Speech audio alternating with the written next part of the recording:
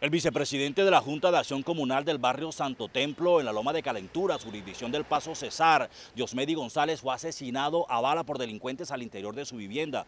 Los agresores despojaron a la víctima de sus pertenencias y huyeron del lugar sin dejar rastro de su paradero. De varios impactos de arma de fuego fue asesinado el vicepresidente de Junta de Acción Comunal del barrio Santo Templo. Diomedes Enrique González Alfaro, de 49 años, por sujetos desconocidos en el corregimiento de La Loma en el Paso Cesar. González era el actual vicepresidente de la Junta de Acción Comunal de ese barrio y se caracterizaba por su espíritu de humildad y servicio. Diomedes, como era conocido, fue abordado por dos sujetos, uno de ellos, sin mediar palabras, desenfundó un arma de fuego y disparó en repetidas ocasiones contra la humanidad de González, quien quedó sin vida en el lugar de los hechos. Este reciente crimen tiene alertada a la comunidad de esa población debido a los diferentes asesinatos sucedidos en menos de un mes.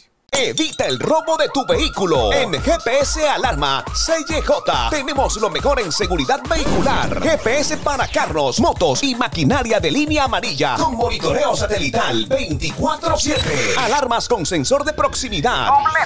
Sencilla. Todas con encendido a distancia. Cámaras de seguridad. Sistema de bloqueo central para puertas de carros. Llámanos 313-803-6453. 305-240-1014. Diagonal 18D 2050. Los Caciques.